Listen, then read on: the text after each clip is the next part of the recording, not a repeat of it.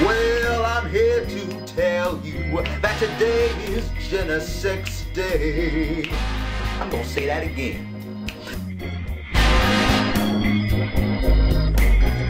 I said I'm here to tell you that today is Jena 6 Day. Mm-hmm. I want you to free those boys and tell OJ to go away. Mm-hmm.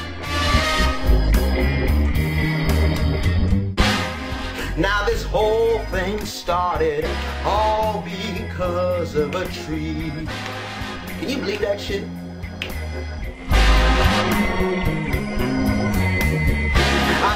Ridiculous case that the media needs to be paying more attention to instead of talking about OJ's dumb black ass. It all started because of a tree. Mm-mm-mm. Somebody needs to tell him what year it is. That some Cracker Jack students thought was whites only.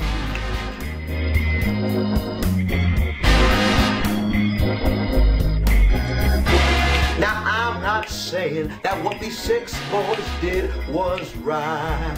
Mm-mm, nobody's saying that.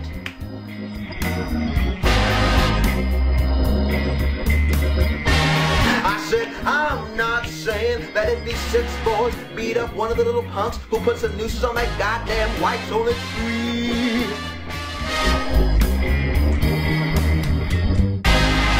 I'm not saying that what they did was right. However, if somebody had put some nooses up at my school, I sure would have jumped in that fight. Now the Jena 6 is part of a terrible racist legacy. Can somebody say Scottsboro boys? I said the Jena 6 is part of a terrible racist legacy. Mm-hmm.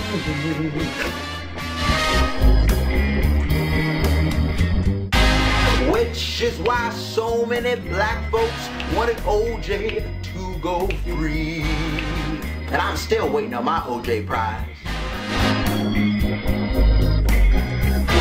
But today don't belong to OJ.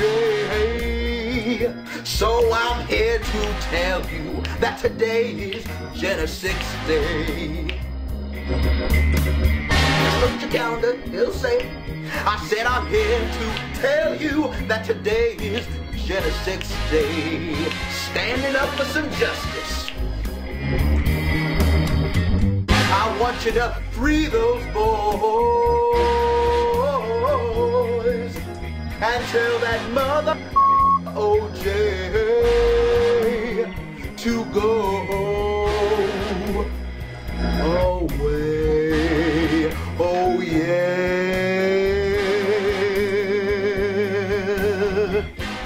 All right now, Jena 6 baby. Much love. if I did it.